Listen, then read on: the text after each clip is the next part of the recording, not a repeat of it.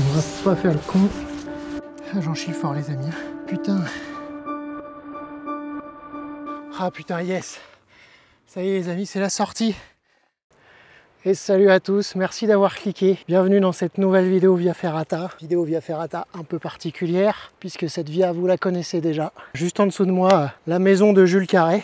Euh, voilà, pour ceux qui découvrent la chaîne il y a un an, euh, un petit peu plus d'un an même, euh, je vous avais fait une vidéo sur cette Via Ferrata qui, est-ce qu'on peut le dire ou pas, serait potentiellement la Via Ferrata la plus difficile de France. Je l'ai jeté, débrouillez-vous en débat dans les commentaires. Euh, en tout cas, les côtés extrêmement difficiles. Et euh, bah, pour la petite histoire, vous avez donné un accueil juste incroyable à cette vidéo. hein. Elle a fait plus de 100 000 vues, une vidéo, euh, une des vidéos les plus vues de ma chaîne. Donc voilà, vous avez vraiment joué le jeu euh, en répondant présent. Donc aujourd'hui, je réponds présent. Et comme promis, je vous la refais, euh, cette fois-ci avec du beau temps. Et vous l'avez vu certainement dans le titre, avec un bonus puisque je vais dormir sur la Via. J'ai quelques endroits de spot en tête. Faut que je me décide encore un petit peu pour voir exactement où. Et surtout, il va pas falloir que je perde trop de temps parce que là, il est presque 18h. Le soleil euh, commence à se coucher, euh, donc voilà, le temps d'installer le bivouac, etc. Il faut pas trop perdre de temps. Mais en tout cas, la vue, c'est vrai que la dernière fois, bah, j'avais pas du tout pu profiter de tout ça. J'étais complètement noyé dans le, brouillard, dans les nuages. Et euh, bon, là, on se rend vraiment compte hein, de, de la hauteur. Euh, c'est peut-être pour ça que je l'avais pas trouvé si horrible la dernière fois, c'est que j'avais pas du tout ce, rapport à la hauteur. Bon, en tout cas, je continue la via. Là, je suis vraiment au tout début, donc il faut vite que je trouve un, spot euh, bah, où poser le hamac. Let's go. Bon, je vous ai passé euh, l'introduction avec l'entrée dans la grotte. hein. Bon, c'est plutôt sympa, mais voilà. Donc là, on a, ouais, on commence en fait par une partie vraiment technique avec bon, un bon dévers mine de rien. Ça tire rapidos sur les bras et surtout, bah on a de la hauteur. La dernière fois, j'avais qu'un paramètre, c'était euh, bah, la sensation du dévers et le fait que ça tire sur les bras. Euh, là aujourd'hui, on combine avec, euh, avec le vide. D'ailleurs, il y a un abonné qui, dans les commentaires, m'a dit qu'il avait fait partie de la team qui avait tracé la via. Donc si tu reviens par là, bienvenue à toi, merci pour tes infos. Si j'ai bien compris ce qu'il m'a dit, à la base, la via elle devait vraiment partir droit au-dessus de la, au-dessus de la grotte. Euh, finalement, ça s'est pas fait pour des raisons, je crois, de, bah, de difficulté notamment. Waouh, ça pique là. hein je crois que c'était à peu près au même endroit où j'avais commencé à en chier la dernière fois. Allez, on est bien. J'arrive bientôt à la, à la grotte. Pas la grotte, mais cette espèce de, de surplomb là. Enfin, de renfoncement plutôt, je vais y arriver. Mais juste avant la grosse, euh, ou l'une des grosses parties techniques. En fait, c'est vraiment une via où il faut réfléchir. Ce qui ne caractérise pas toujours le mieux, encore une fois, mais la penser à chaque prise, à la suivante. Bon, il y a vraiment du gaz. hein. Allez, là, on a une partie bien, bien verticale. Il va falloir être solide sur les appuis. Et euh, tout de suite, tout de suite, hein, on prend du gaz.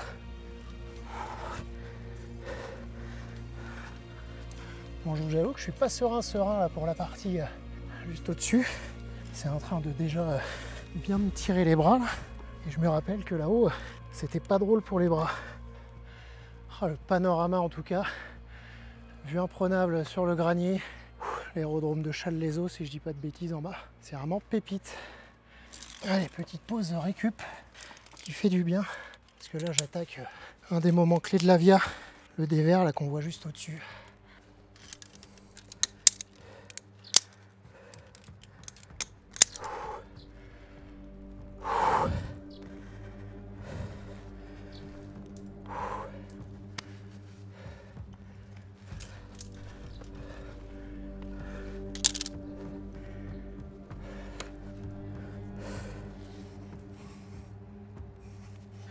Bon allez, je me vache.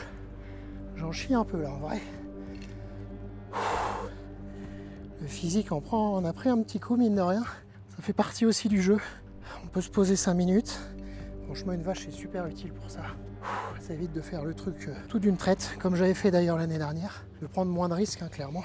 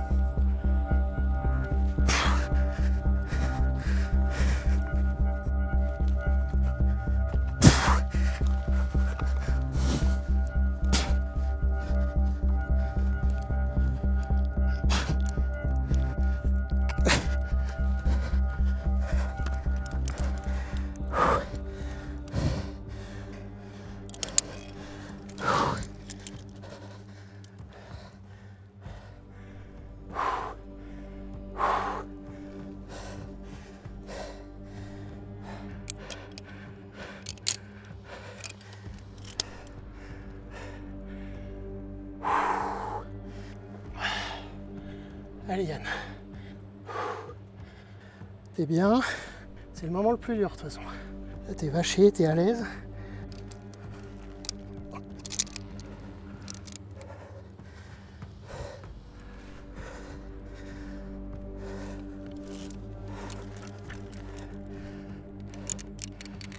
Ok.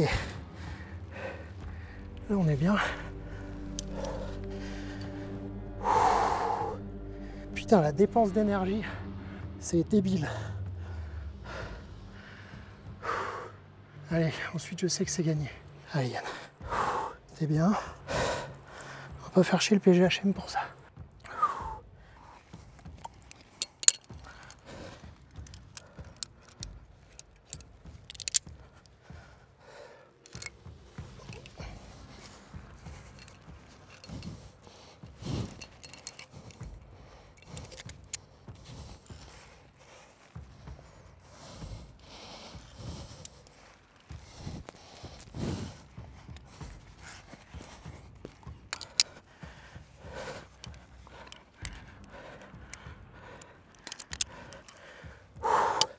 Putain, je le.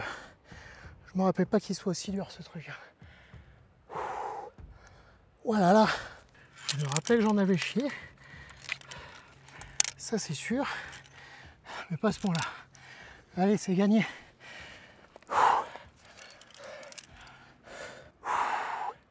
Putain, ce que j'en ai chié les copains. J'ai eu à un moment donné le- l'envie de faire demi-tour. Puis je me suis rappelé ce que j'avais déjà monté.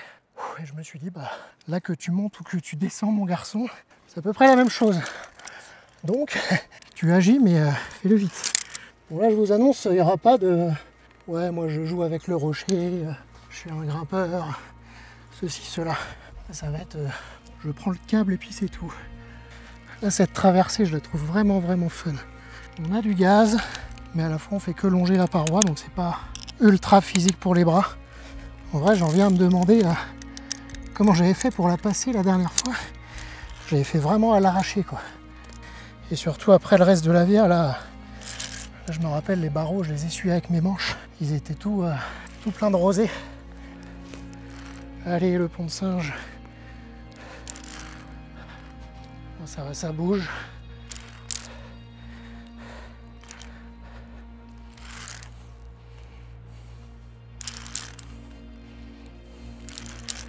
On est bien. Je suis pas mal sur le timing. Il va même pas falloir trop trop perdre de temps pour anticiper euh, l'installation du bivouac.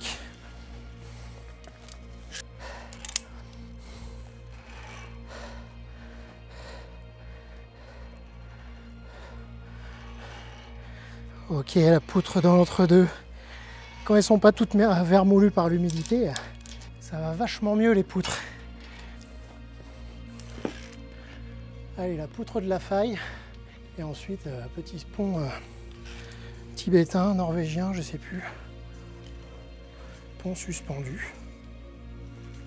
Je suis vachement plus à l'aise hein, quand, les, quand les poutres sont sèches. Vous l'aurez peut-être remarqué. Allez, on est presque au bout. Il y a une belle partie bien verticale.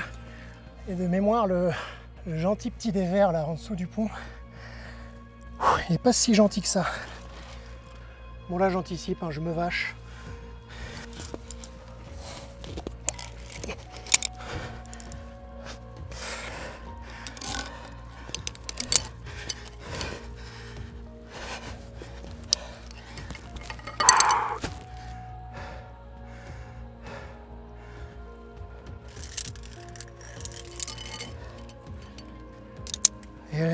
Part euh, pour le pont tibétain. Ça m'a laissé du jus. hein. Il va falloir euh, rester lucide, prendre euh, les bonnes décisions.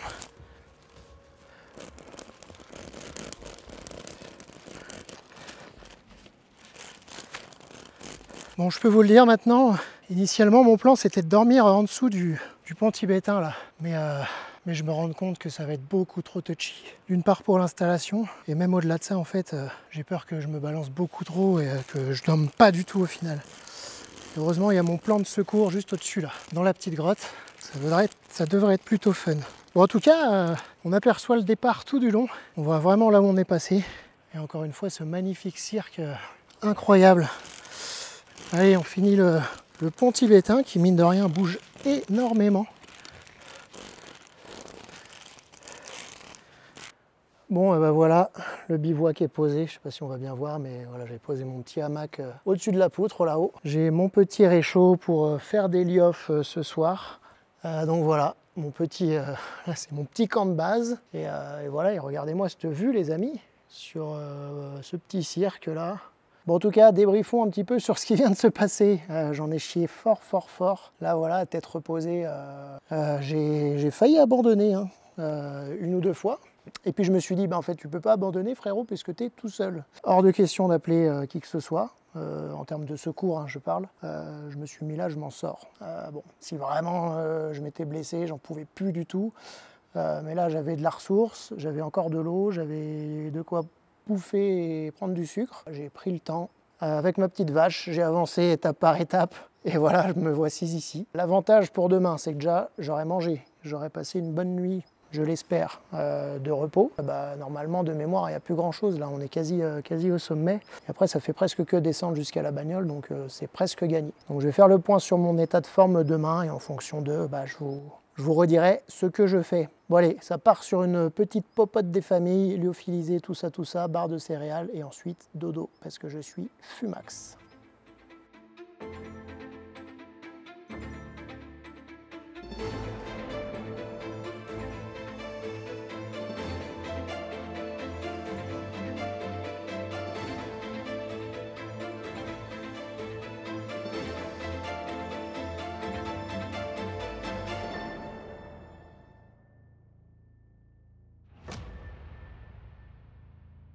Bon ça y est, la nuit est tombée. J'ai fignolé euh, l'installation du bivouac là-haut. Il ne me reste plus qu'à rentrer dans mon sac de couchage. Ok, on est bon sur le sac. On va pas faire le con. Sinon j'ai pas de lit pour cette nuit.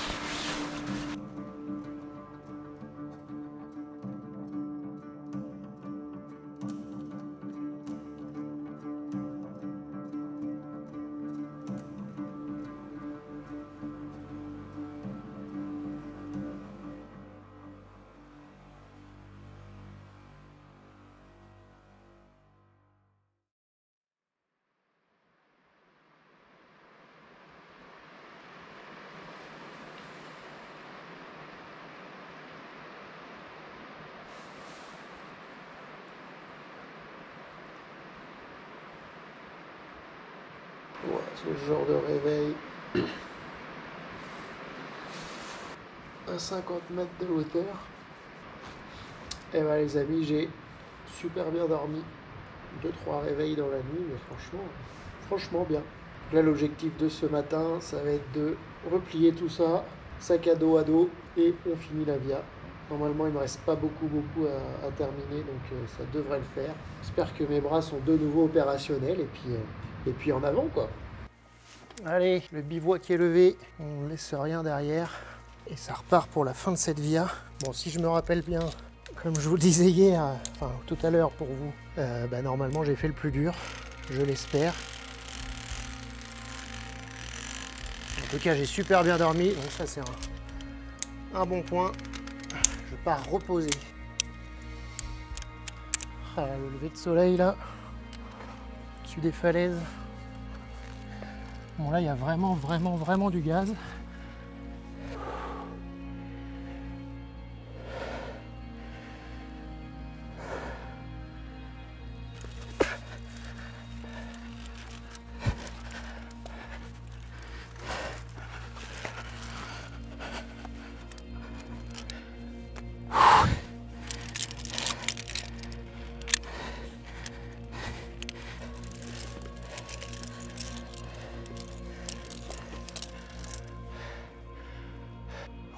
Encore une partie euh, bien bien technique.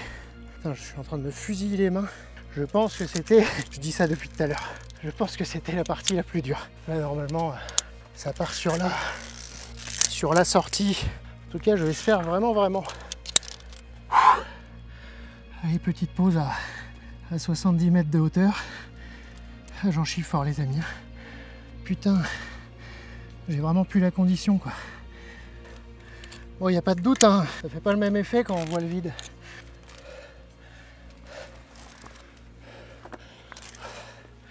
Ah putain, yes Ça y est les amis, c'est la sortie. Ah putain Ouais, et bah... Autant la première fois, elle était passée crème. Putain, autant là, j'ai cru que j'allais jamais y arriver. Bon et bah voilà les amis, fin du game. J'espère que cette vidéo vous aura plu. Moi j'ai kiffé l'affaire. Bon encore une fois, hein, les, les deux, les deux surplombs d'hier après-midi, euh, putain, j'en ai vraiment vraiment vraiment chié. Euh, C'était dur mais voilà, en prenant le temps. Franchement, euh, si vous devez vous mettre à la via, je vous conseille plus que fortement euh, d'investir dans, de quoi vous vacher à la paroi. Moi c'est clairement ce qui m'a pas sauvé parce que voilà, mais euh, au mieux euh, empêcher une redescente et au pire appeler les secours. En vrai je pense, enfin voilà, c'est ce qui m'a mené jusqu'ici je pense. Voilà, je me suis dit mec, tu t'es mis là tout seul, t'es pas blessé, tu te sors les doigts, tu prends le temps, mais voilà, tu, n'appelles pas Dragon 74 pour ça. Et bon, finalement, ça s'est fait heureusement. En tout cas, voilà, chose promise, chose due. Bon, avec un, an de retard, mais voilà, vous avez été tellement nombreux à me la redemander cette Via Ferrata. Pour ceux qui n'auraient pas vu euh, la fois où je l'avais fait dans le brouillard, je vous mets la vidéo juste euh, en fiche ici, euh, histoire que, vous alliez la voir. Et voilà, si vous découvrez la chaîne, n'hésitez pas à vous abonner pour voir d'autres aventures de ce genre, en parapente, en via, en ski, tout ce qui touche de près ou de loin à la montagne. Abonnez-vous, dites-moi ce que vous en pensez en commentaire. Est-ce que j'ai pris trop de risques? Est-ce que je suis un putain de novice? Je sens que ça va, débattre à fond. En tout cas, j'ai fini. C'est le plus important. Je suis en sécu. Lâchez votre meilleur pouce bleu et à bientôt pour une prochaine vidéo. Ciao